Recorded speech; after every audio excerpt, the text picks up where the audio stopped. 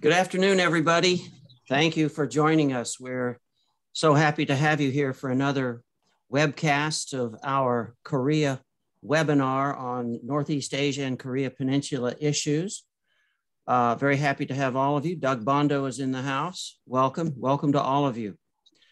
Uh, our moderator today is Dr. Michael Jenkins, who's president of the Washington Times Foundation, as well as chairman of Washington Times Holdings, the LLC that owns uh, the Washington Times.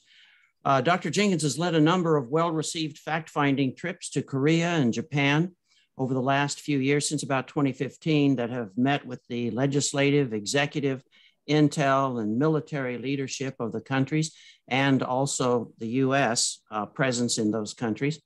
As president of the nonprofit uh, NGO, the Universal Peace Federation International, Dr. Jenkins has decades long experience uh, in conducting peace initiatives all over the world, particularly in Northeast Asia and the Middle East. Uh, welcome, Dr. Jenkins.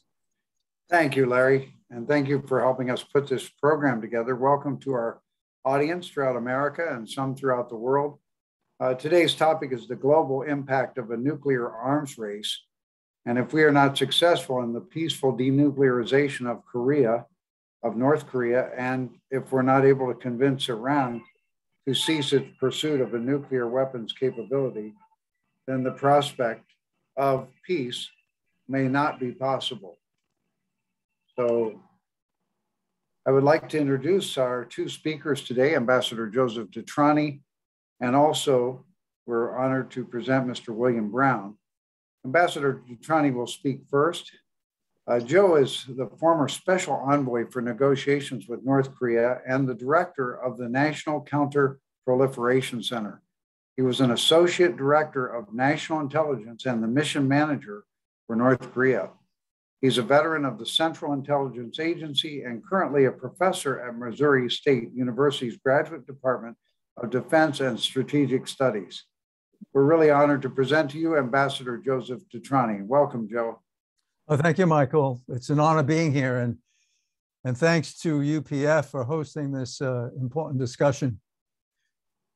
You know, uh, given current trends, uh, a global nuclear arms race is more than likely. And that's what I want to talk about briefly this, morning, this afternoon. We're talking about more nuclear weapon states with more nuclear weapons and fissile material that's being sought by rogue states and terrorist organizations. And what does this mean? What does that prospect mean if we're looking at this as a, as, as a possibility or an eventuality? The danger of stumbling into accidental nuclear conflict becomes that much more great, becomes that much greater. A terrorist or rogue state acquiring a nuclear weapon or fissile material for a dirty bomb becomes that much more possible. Indeed, that's a challenge to all nations, something we have to, we have to address. And I believe we are addressing it. And I can go back to the Nuclear Nonproliferation Treaty of 1968, where 191 countries signed up to prevent the spread of nuclear weapons and nuclear weapons technology. And I also, and that's an important piece of it, to cooperate on the peaceful uses of nuclear energy and nuclear disarmament. The IAEA was established during this time to monitor this event.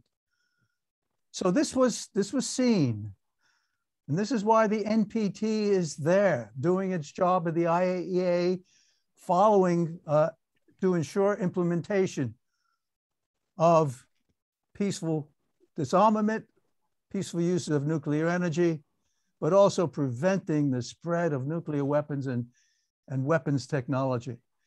I might add also in 2010, former President Obama hosted the first nuclear security summit in Washington, D.C. 47 countries participated. 38 heads of state were in attendance at that first meeting, with a second meeting in Seoul, a third meeting in The Hague, and a fourth meeting again in DC. And the purpose there was to secure nuclear materials, to address the threat of nuclear terrorism. Pieces were put in play to address an issue that we see now in front of us with the possibility of existential threats to all countries if we don't manage it well. I want to cite something before we move on. The recent death of A.Q. Khan. He was a Pakistani nuclear engineer. He was under house arrest in Pakistan. He was the father of Pakistan's nuclear, nuclear weapons program. But this man also was a, was a, was a, a, a, a nuclear proliferator.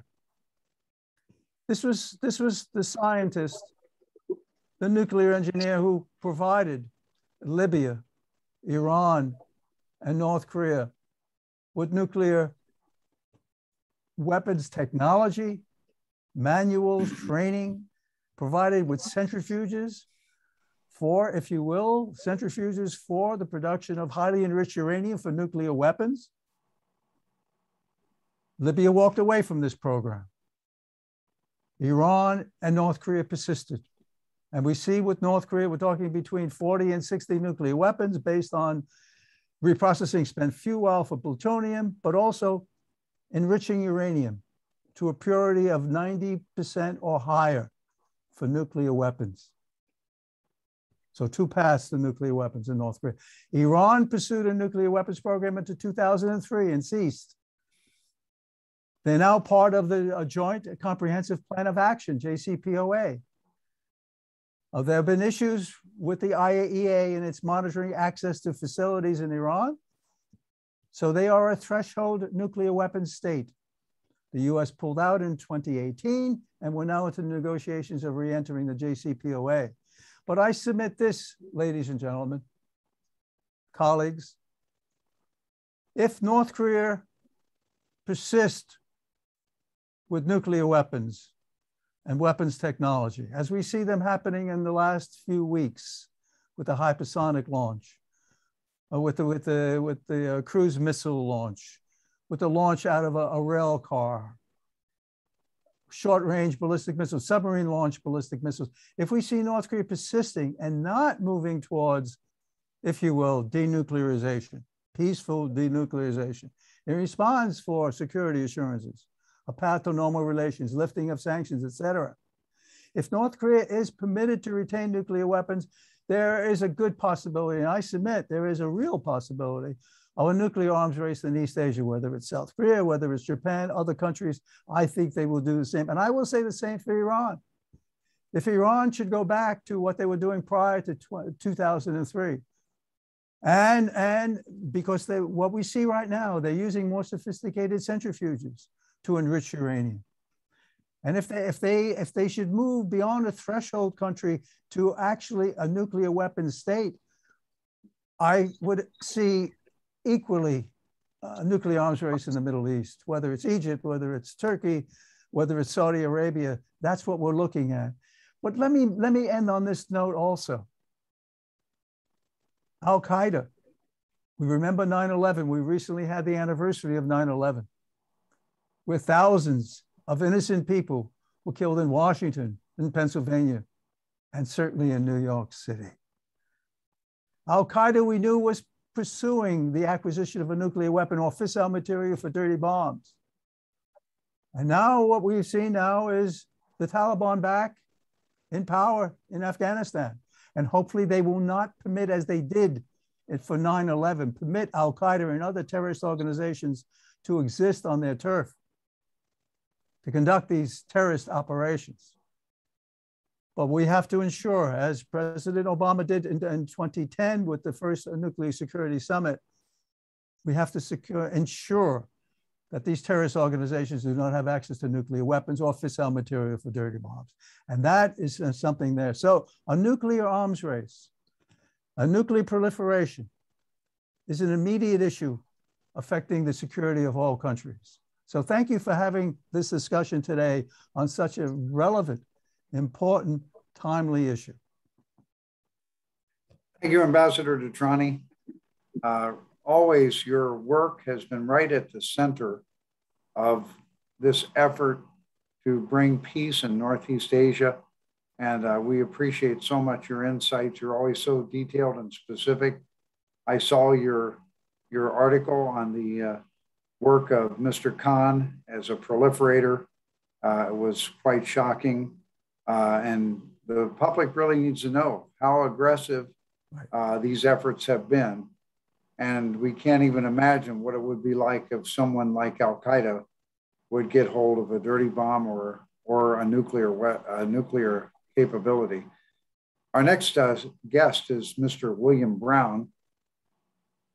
Mr. Brown chairs the George Washington University's North Korea Economic Forum and the Institute of Korean Studies, and is an adjunct professor at the Georgetown University School of Foreign Service, where he teaches occasional courses on the Chinese, Japanese, and Korean economies. He also teaches contemporary China at the University of Maryland Global College. He serves on the board of directors of the Korea Economic Institute of America and writes and is interviewed as a North Korean expert for the Voice of America, Radio Free Asia, the Wall Street Journal, and the Korea Times. He's the principal of his consulting company, Northeast Asia Economics and Intelligence Advisory, LLC.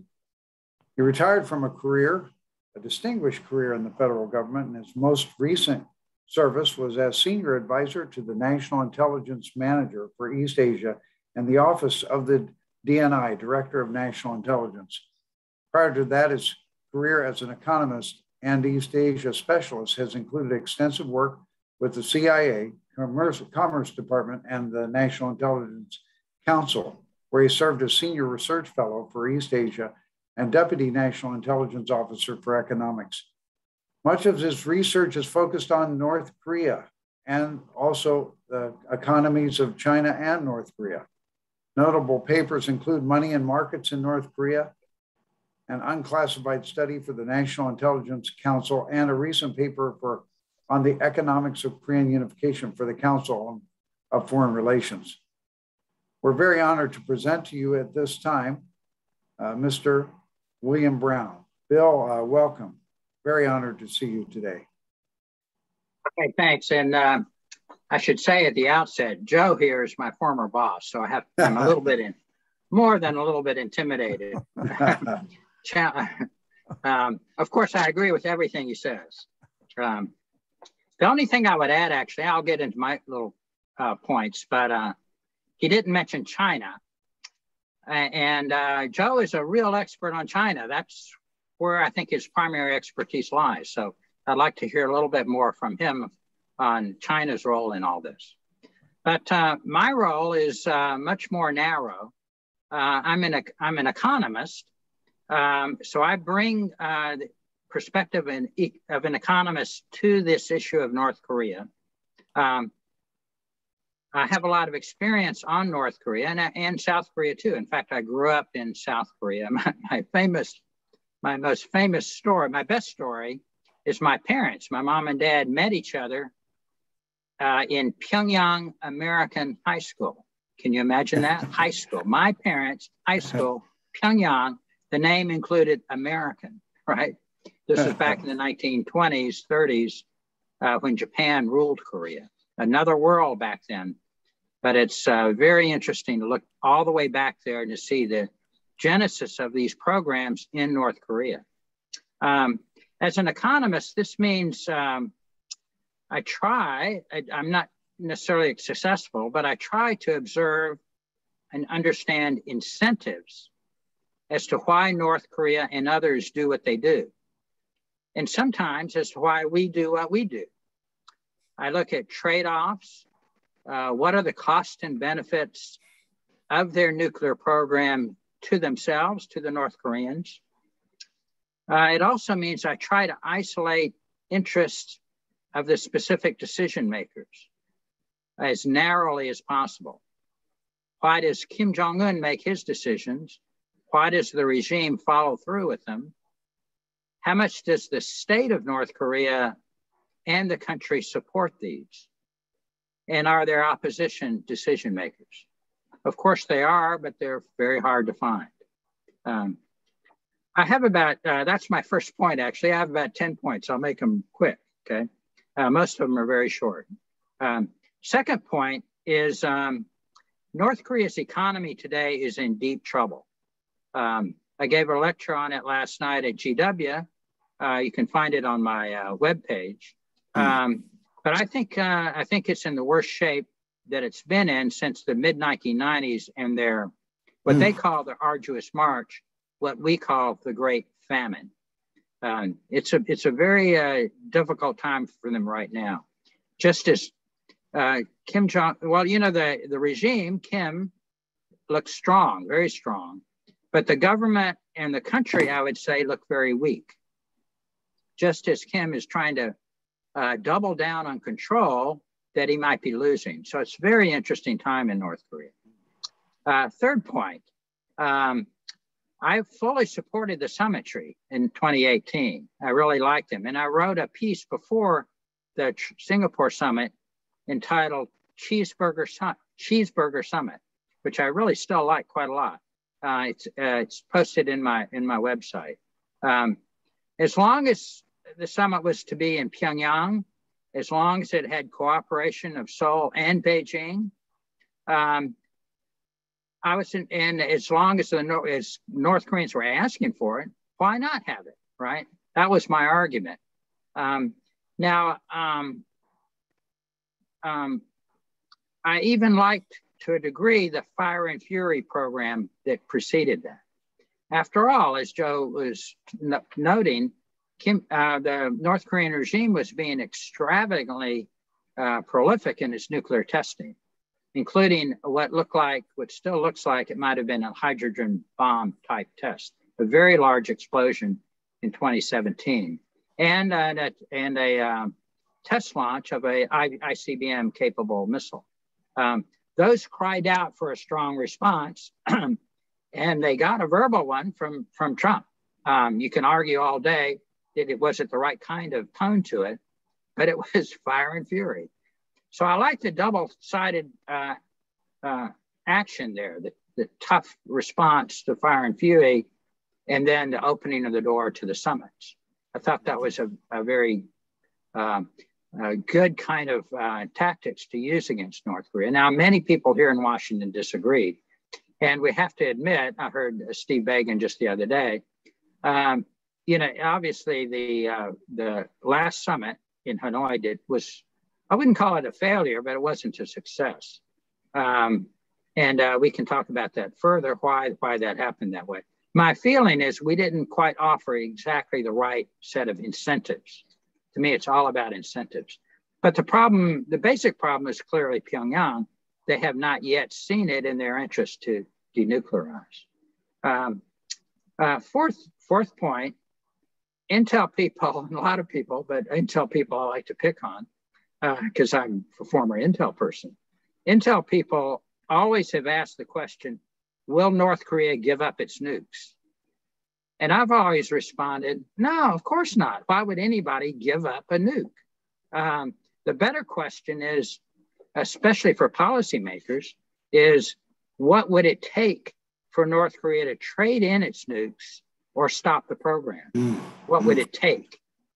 Um, now, maybe there's no set of conditions in which both sides agree. No deal, right? That happens all the time. The house doesn't get sold. No, no deal. Um, but I think um, that needs to be tested and tried out constantly. And I think that's what we did in Hanoi. And uh, so far, no deal. We couldn't come to terms with it. But maybe there was some for forward thinking on both sides. I hope so. Fifth, if we really want North Korea to rid itself of nukes, we should raise the cost to them of having them uh, and lower their perceived benefits. Two sides to that equation. Um, I think the sanctions have probably raised the cost to the program, to the country. Fire and Fury probably lowered their security benefits. Um, so that brought us to the table. Uh, clearly, the right combination, though, has not yet been met. Six, What are the benefits to North Korea or to Kim himself of the nuclear program? Clearly, it's all about security. as long as the nukes make them feel more secure, they'll keep them, no doubt. but the opposite can happen as well. they may be able, uh, they may begin to feel that the nukes detract from their security. Um, personally, I think Kim's largest security concern every night uh, must be people in the streets rebelling. I mean, they like to review the videos of Romania, Ceausescu. That is scary for Kim and all the North Korean regime. That, to me, is a bigger concern to them inside, if they really, if we really looked at them, than the threat of an American nuclear attack, which for 70 years has not happened. Um, but positive for them, for this nuclear security, uh, it's pretty clear South Korea is less likely to respond to a provocation or a mistake if North Korea has nukes. That makes them feel a little bit more secure, I suppose. Um, this could even include a North Korean attack that, you know, provocation, like the Cheonan case where they sank that uh, South Korean corvette.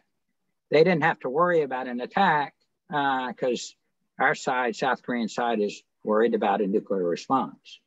Um, but, um, um, you know, still, it must be a constant concern for Kim control of these nuclear weapons inside his own country. And how can he know that we don't know where the where the nukes are? Maybe we do. Maybe Jeff does. Maybe I do. No, I'm not suggesting I do. But um, from Kim's perspective, worst casing everything, uh, he's got to worry about that, right? He's got to worry his own army, his own military will let loose with some uh, data, some information. Must be a constant worry for them. Other benefits, though, could accrue from uh, selling the technology. Uh, that's what uh, Joe's group is always constantly worried about. Um, proliferation of North Korean technology, proliferated from Pakistan to North Korea, well, it proliferated, I guess, from the beginning from us, all right? It's proliferating kind of like a slow moving virus all over the world. Um, and somehow it's got to stop. Um, but the, um, uh, you know, and they did proliferate to Syria, I think beyond doubt. They, they tried to create a, a Syrian nuclear weapons program. And they probably got a bunch of money for doing that. Um, still, it's not that easy to do, and it's highly risky to their security to be doing something like that. I mean, how many enemies can they afford to make? Um, they cannot afford to make China an enemy. And in, most proliferation would go through China. And can you imagine Chinese intercepting a train load with North Korean nuclear material in it inside China? That could be the end of North Korea. So the uh, security concerns for the nukes, to me, this is my main point, uh, go both ways. And I think part of our uh, solution here is to raise the cost, raise the um, threat of their own nukes to their own system. That's, I think, where they would uh, bend over and start making to make we could make some uh, success. Um, the um, what about the costs to North Korea? They're huge, absolutely monstrous immeasurable perhaps. I would count a million North Korean starvation deaths due to this nuclear program. Um, I'll tell you a little story. Back in uh, 1984, you know, we should all read that book. It's a great book. Um, but in 1984, down at the old Navy Yard, I was shown an image um, of what we thought, well, I was an economic analyst, of what we thought was an ordinary electric power plant but it didn't have a transmission yard. And the people, the experts around me told me, uh, you know, this, we opened it, we can look at the construction and we can see it's uh, very close to a copy of a, uh, a plutonium plant in England.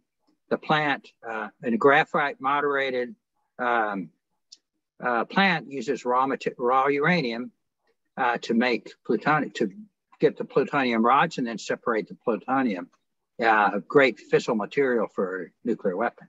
This is what the English did, and the North Koreans seem to be copying it.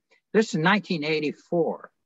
I, I point out and I emphasize that date because um, looking at the North Korean economy for so long, that was probably the peak year of its advantage over South Korea. maybe two years earlier, maybe about 1980 was about their peak year, where they had an advantage, an industrial advantage over South Korea, and certainly a conventional military advantage. So 1980-ish, so around there is their peak year. Ever since then, they've gone straight downhill on the economic side. My point here is that as the nuclear program has succeeded, very slowly, very gradually, but is certainly succeeding, um, the economy has gone into a death spiral. Uh, so you have two divergent lines. Um, the economy I'm talking about here is the state economy, the command economy, the old centrally, excuse me, planned economy. In a way, the breakdown of that state economy has opened the door for an emergent market economy that's sort of taking gradually, slowly taking the place. Um, that's a good thing in, in, a, in a very odd way. To me, the nuclear program is killing North Korea's communism and it's creating kind of a vile form of capitalism. I love capitalism, but the form in North Korea is pretty raw. It's pretty unregulated. Un, um, um, the uh, can they continue this way? Well, uh, they continued through the famine, the mid 90s, with a huge amount of foreign aid. North Korea is the recipient of huge amounts through its whole existence. Until recently, now they're getting very little aid because of this nuclear program. The only aid that I can discern is crude oil from China, a, li- a lifeline that China gives them. Uh, how long can they carry on this way? Well, maybe a long time if people keep giving it aid. Where basically the outside world is afraid of tipping it over and creating a, a huge nightmare. Uh, seventh, seventh point China, I would call not the elephant in the room, China is the dragon in the room. China would be the main loser, I think, if North Korea, North Korean nukes spawn, as Joe rightfully suggests, an, a nuclear arms race in East Asia. I mean, just look at South Korea, mostly Japan. I don't, I don't think it would go to Taiwan, but uh, other countries, Vietnam, other countries in Asia, one uh, sort of like dominoes, they start all falling in place. Uh, a big concern, and China would be the big loser here. So it's no real um, surprise that China has been on board with our program. I shouldn't call it our program, the world program to stop North Korean denuclearization. Um, so that's um, uh, that's a sign of you know, it's one area that we are and have been cooperating with China. It, that might even be a good, good way that we can cooperate in more issues on China. But recently, it's not been going well. Um, the thing is, what people tend to forget is China has this since 2017, since that big nuclear test. China's been on board with really, really tough trade sanctions on North Korea. There's a lot of spotlighting of the, the uh, smuggling going on, but imagine this imagine uh, one day the US um, says, okay, we're not going to buy anything from Mexico, anything from Canada. Wow, what's going to happen? That's essentially what China did in 2017. We're going to buy nothing from North Korea. Uh, Canada and Mexico would fall apart. There would be incredible smuggling. We would be in bad shape. They would be in terrible shape. Um, so, what China has done there is extraordinarily strong, and we got to expect a lot of smuggling to take place. Doesn't mean we shouldn't try to stop it and get Chinese to, but we have to recognize contiguous borders, um, two close uh, countries over thousands of years. There's going to be a lot of smuggling taking place, and we have to be careful of uh, fingering China too much that they change their notion. If they change their notion and decided it's okay for North Korea to have nukes, uh, and we'll deal with South Korea and Japan in other ways, wow, we've got a huge problem on our hands. Um, so, uh, hey, what should we do? um, you know, I like I love game theory. Economists love to do game theory, but I like to play chess. I like to do play tennis. Um, if you're at loggerheads with the other guy, um, and no progress seems to be possible, it can be advantage advantage to sort of change the game a little bit. Uh, change change your tactics certainly in tennis. Hit a high lob, some, something like that, uh, or play uh, three dimensional chess. Um, play a different game with them. Um, I'm thinking that's what we've sort of not been doing. We've sort of focused so much on this nuclear thing that's not going anywhere. Maybe there's some other games we could play with them. And, and um, North Korea, you know, they call us, call us a hostile country. Well, they're darn right. We are hostile to a lot of their policies. Uh, we should be hostile to their slave slavery, basically. Um, but that doesn't mean uh, that we can't make progress on these other issues while holding the, the, the nuclear issue not in abeyance, but keeping it uh, from getting worse. Uh, so, what do we not like about North Korea? My endless problem with North Korea is its socialist command economy. Stalin put it in in 1945. It's very, it was not a communist country, it was not a socialist country. It had every right to be a, after Japan left, after we liberated the country, it should have been a very vibrant country after that. Stalin came in, put in that socialist system that they've never been able to get rid of. So if we can help it get rid of that socialist system, maybe that's a it's a plus for both of us. Um, so I'm thinking reform is the right way to deal with North Korea. Push, press, insist on reform, and not just from the U.S., but from South Korea, from China, uh, from everybody. Um, easy said, easy to say, hard to do. But I think there are a lot of little uh, devices that we could be using. And I say in Hanoi, I don't think we use quite the right set of uh, incentives for that. Um, so how can we start this process? you know, nothing seems to be happening right now. Maybe it is, but I don't see anything happening. I might suggest giving them a little bit of face just to get it started, get dialogue started, engage. I love the idea of engaging North Korea, um, but I want to engage them with a purpose. And I like to say I engage them with a wrench, you know, a wrench to sort of change things, or like a gear in a, in a car, a gear shift not like uh, marriage engagement, certainly not like war engagement. We don't need a war there. We don't need to engage in war or marriage. We do need to engage in change. And that's where I think um, some little uh, changes in our trade sanctions might help. Um, you know, our trade sanctions are not not important on North Korea. So when we offer, we're going to remove our trade sanctions. Uh, Kim should, I should gloss over. Now, the China side, that's a whole nother matter. But from us, we have a whole list of uh, economic issues that prevent us from trading with North Korea because it's a command economy. They don't have normal prices. They don't, they're not a member of the WTO. They're not a member of the ILO. They don't pay wages in, in a regular sense. How can we trade with a country that doesn't pay wages correctly, that prices electricity at nothing? you, you just can't deal with a country like that without bringing them into the WTO, like we did with China. So I think there's a lot of engagement that would be positive for them and positive for us that can happen around this nuclear issue. Um, that hopefully would convince them that security, you know, that the nukes are making them less secure, and uh, uh, maybe then they start to uh, agree to dismantle them.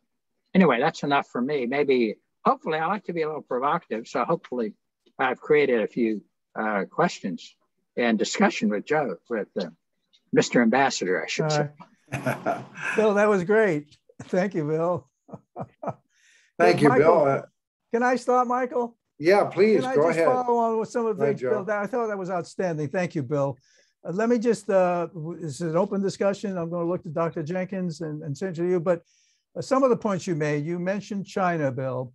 You know, uh, look, um, China, uh, we recently had an agreement with the Russian Federation to extend for five years New START. So we are in arms control negotiations with the Russian Federation. We have proposed to China that they be part of these New START arms control negotiations. And China heretofore has said no because of the disparity. We're talking about a China with maybe 300 plus nuclear weapons uh, to uh, for the United States and the Russian Federation, 1,550 deployed nuclear weapons. Never mind what's in storage, deployed nuclear weapons. However, what we're saying is, if unless we have China into these arms control negotiations, given where China is, I mean, recently we've seen media reports indicating over 250 long-range missile silos in, in as many as three different locations in China, which is speaking about a very major uh, uptick in China's focus on, on nuclear weapons and, and, and movement, movement in that direction. So yes, I do agree. We do need to bring China into the equation on arms control negotiations. Uh, and, and, and certainly when we talk about space and where we're all going with space, there are, there are opportunities of, of expanding the, of arms control negotiations to include uh, ensuring that there is no weapons in space. We, we, we have a lot of, uh, a lot of work ahead of us uh, uh, in, in regards to arms control negotiations with the P5 to include the UK and, and, and, and, and certainly uh, uh, France in, into the, in, into the equation. So there's no question about China being an important part of that. And the last point I'll make, uh, Michael, if I may, on, on Bill's comments about North Korea. Uh, Bill, I do, I do see the U.S. as you know so well because you're so, you're so uh, lucid on these issues and, and very conversant with all the particulars. Uh, the U.S. has been with the Republic of Korea proposing uh, a package to North Korea as we did with the six party talks in the September 2005 joint statement, where we're saying we're talking about a path to normal relations, normalizing our relationship. Lifting sanctions, security assurances, economic development assistance. So there's no dearth of incentives for North Korea to for North Korea to join in, in this process of complete verifiable denuclearization. Over to you, Michael. Thank you, Joe. Uh, Bill, I've got something for you. Joe wrote a very powerful article in the Washington Times two weeks ago, an op ed, getting North Korea back to the negotiating table. And he talked about the fact that the October 4th uh, reactivation of the cross border hotline was in part due to President Moon's speech at the United Nations calling for the formal declaration of ending the war. And Joe is suggesting in his op ed that maybe the end of the war declaration could be uh, a way to open the negotiations once again. And even uh, to my surprise, uh, even the discussion on lifting some sanctions. Uh, what, are your, what are your thoughts on that? Ending the war and lifting sanctions. What could be done there to, to open up uh, the engagement between the uh, ROK, the US, and North Korea? Yeah, you know, I, I, keep hearing about this end of war declaration for a couple years, and now the last few weeks it's been very prominent because President Moon is pushing for it, late in his administration now. Um, I'm not against it, but I'm not uh, enthralled by it either. Um, it's a piece of paper. To me, there's no war in in Korea. There never was, in theory. You know, it was a police action, right? We never declared war. Of course, there was a very big hot war in 1950, 51. But since then, it's been fairly peaceful. The DMZ is a fairly peaceful place, uh, surprisingly so. So, this idea of end of war, uh, okay, we can have end of war, but um, we need to think carefully what, um, and you know, I don't buy into a lot of the naysayers who say, oh, that means uh, we would have to withdraw our troops. Oh, no, why, why would that happen? you know, we're not, we're not going to be pasted by the North Koreans that way. So a lot of the arguments to and fro, I think, are kind of disingenuous. Um, but I don't. The problem is, I don't really see see it as a North Korean initiative. If I if I saw Pyongyang really pushing for this and thinking, well, okay, maybe we can get some leverage from this. Why do they want it?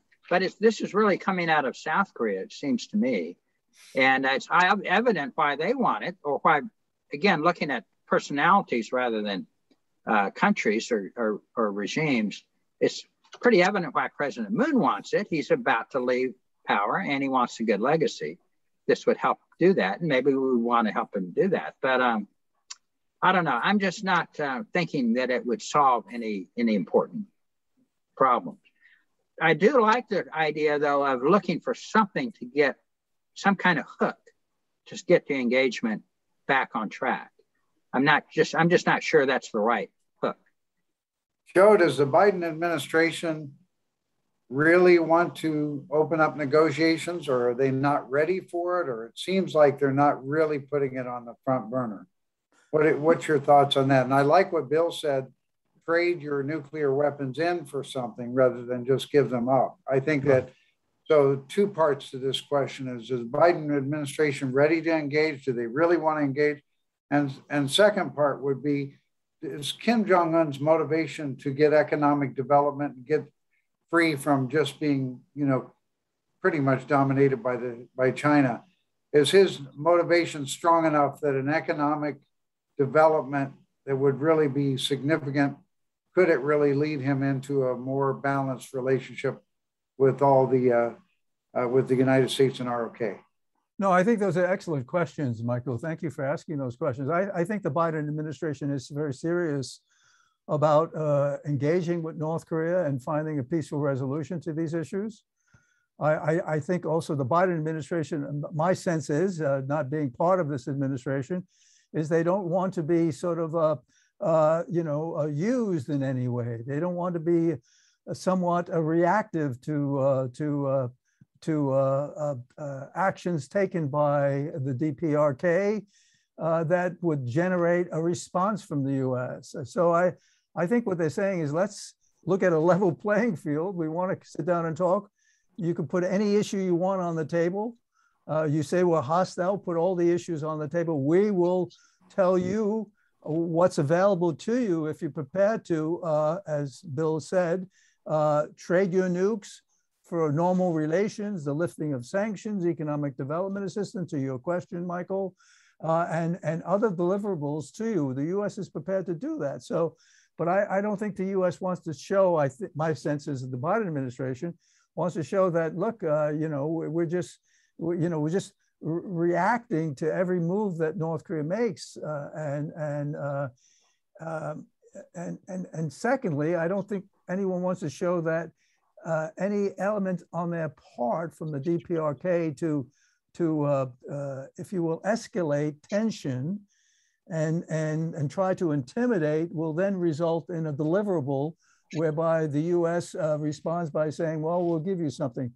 So in that in that context, I've heard from colleagues that have said, Joe, we have to be careful about uh, uh, an end of war declaration. We don't want to be seen as we're giving them something because they're they're they've uh, escalated tension and they're somewhat intimidating, and and they're getting something in return for that that type of behavior. I submit, however, uh, an end of war declaration is a gesture. That's all it is, a gesture. Yeah. It's to build some trust. It's to say we're prepared okay. to move forward. Look, yeah. Michael, we can't, to have a peace treaty, we need the consent and the approval of the Senate. This is a big process. Yeah. It's going to include a lot. So I think it is a path to, uh, to building some sort of trust that's really not present as we speak. Thank you. One more question, Bill, and then I'd like to let uh, you and Joe just have a further discussion. But one more question is, it's pretty clear to everybody that China does not want North Korea to be a nuclear uh, weapons state, a nuclear power with capability with ICBMs and so forth. Uh, and yet, also, I don't think that, from what I understand, China wants to see uh, North Korea develop economically with a strong partnership with the ROK and the United States. Can you comment on that? They don't want a nuclear state in North Korea, but they also don't want to lose North Korea as their buffer. So, how yeah. can we work that out with China? Yeah, I, I, I agree. But again, sir, I, I have a hard time thinking of China in a monolithic sense.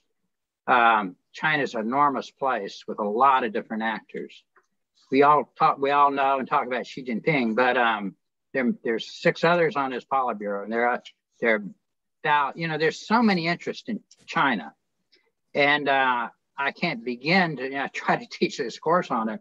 It's just bewildering, all the different uh, actors. Um, it's hard enough looking at Washington. Man, China is uh, 10 times more complicated. So uh, I'm sure there are plenty in North in China who love North Korea's nuclear weapons why?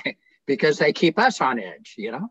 Um, mm. But then there are plenty of others who think, no, this is dangerous. Uh, Japan might get nuclear weapons. So uh, trying to figure out who's on what, where in China is very, very difficult. Um, it is uh, a, a, troublesome angle to China, though. This is what I would say to Chinese people is that, look, uh, you've helped North Korea move to this incredibly impoverished state. You really haven't helped them. Um, it's um, you saved them in the Korean War at huge cost to you, and what has come of that? Not much. So North Korea is in a way their responsibility. It's mainly Stalin's responsibility, but Stalin is long dead and gone, as is the Soviet Union. So now I think China has to be more responsible for the state of play in North Korea, and that's including hunger and all the bad human rights and all that. Um, I think plenty of Chinese would go along with that. Many Chinese I've talked to quite agree with that. And uh, they sort of think they're helping North Korea. Mm-hmm. Uh, they are providing crude oil. But, um, and, uh, you know, the crude oil part, I used to object to that. Why are you giving crude oil to North Korea? Why don't you at least sell it to them? But I'm thinking now that the crude oil is kind of China's last lever against a major provocation. And we have to also should remember uh, since the um, big button, little button, remember all that? The fire and fury business. You cannot have an uh, ICBM, that all that talk. Well, North Korea has not done another nuclear test and it's not done an ICBM test. This is what's going on, what, uh, three or four years now. So there is some something that's holding them back. Yes. I think otherwise they'd be, and I think it's China's crude oil is a big part of that. My guess is remember, uh, uh, Kim hadn't gone out of North Korea when he gets this fire and fury going. He goes to Beijing very quickly.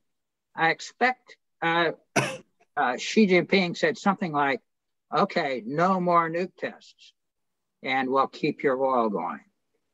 Right? Something, mm. a hmm. bargain like that and it seems to be kind of working.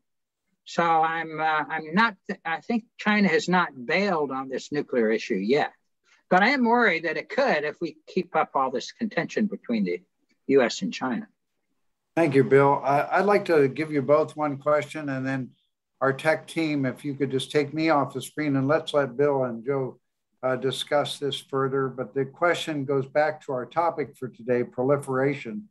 Um, if North Korea gets to the point of no return where they've locked in their nuclear power and they have their arsenal and they have the capability to strike the United States and so forth, um, then what happens with the other countries? How this proliferation, how fast will Japan and ROK be determined or you know asking to or seeking to develop their nuclear weapons? How, how does proliferation work?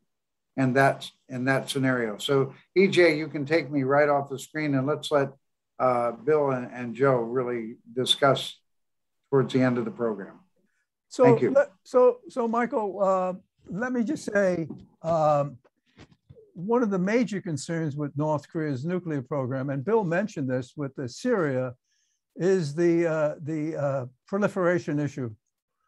Uh, the, what, what North Korea did uh, with uh, Syria, and as we all know, is, Israel uh, in September of 2007 took out that facility in Al Kibar, Syria. This was a nuclear reactor similar to the five megawatt reactor, the graphite moderated reactor at Yongbyon. if the Israelis didn't take out that reactor in September of 2007, it's quite it's, it's more than likely that, uh, you know, uh, Syria that used chemical weapons against its own people, uh, as we saw in uh, 2012, 13, would have nuclear weapons. And that's, that's scary when you think about it. So, so North Korea and uh, was, even though we were negotiating with them uh, with the six party talks and before that with the agreed framework, uh, they were providing uh, uh, Syria with nuclear technology and training and know-how and equipment. Uh, that is, so the proliferation issue with North Korea retaining nuclear weapons is, is whether it's sanctioned at the state level or whether it's illegally acquired, because that's one of our major concerns with highly enriched uranium, that there are bad actors out there who may want to be selling this material to terrorist organizations and other uh, uh, bad actors uh, who would use it against, if you will, uh, the uh, uh, the people in the world and, and, and, and all nations.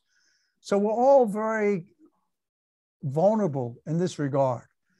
But North Korea retaining nuclear weapons, because I hear from so many people about why don't we get into arms control negotiations and so forth. No, we're not talking about arms control. We're talking about denuclearization, complete verifiable. And this is a package we've, we've offered to North Korea. They said they were interested. Kim Il sung said it in 1994. Kim, Kim Jong il said it in 2005 and 2006. And Kim Jong un said it in 2018, as Bill indicated in the Singapore summit with the president, former President Donald Trump. This is where we are, because I do believe Japan and, and certainly South Korea, I hear from South Korean friends and former colleagues, Joe, you got to understand, even though the US has extended deterrence commitments to South Korea and Japan, we will have to look at our own capabilities to defend ourselves. And, you know, and, and some people see the US as sometimes as being very fickle. I go back to 1962 with John F. Kennedy and, and, and de Gaulle, where de Gaulle told President John F. Kennedy, thank you very much for the nuclear umbrella, but we'll have to have our own nuclear capabilities to defend ourselves. So I believe proliferation, the, a nuclear arms race in East Asia is, is a reality, in addition to the significant proliferation problems. Over to you, Bill.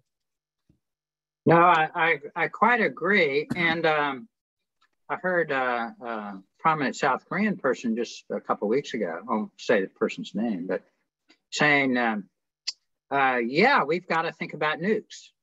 Um, it's kind of similar. Remember, uh, President Trump got scalded by Washington when he mentioned, oh, South Korea and Japan might go nuke.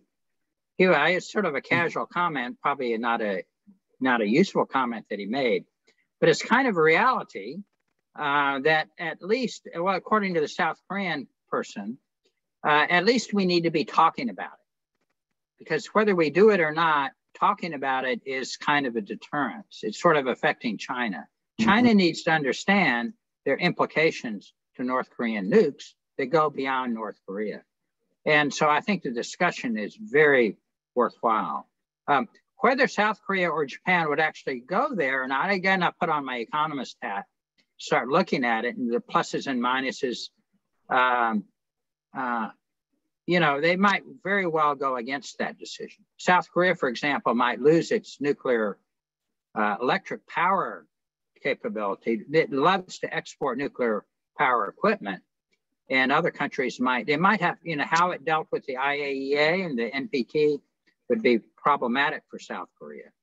And Japan has a very negative attitude toward nukes for obvious reasons. So it's not it's not clear to me that they would go nuclear, but it's certainly useful for North Korea and for China and for Russia to think, oh, they might go nuclear. What where would that take us? So I, I like the conversation. Going back though uh, to something that um, uh, Mr. Ambassador Detrani mentioned earlier about the incentives. And this gets very in the weeds, I realize it, and I'm probably too much in the weeds. And I don't want to sound like I'm pandering to North Korea. But um, I think a lot of the incentives that we've thrown at them are scary to them when you think, uh, if you're thinking, sitting there in Pyongyang and then you go to Singapore, wow, what a city. You go back to Pyongyang, you go to Hanoi, wow, what a city. You go back, take a long train ride back to Pyongyang, what a dismal place. Um, your, your instinct, I think, for them, they're, they're very independently minded. They've always been this way. They want to do things themselves.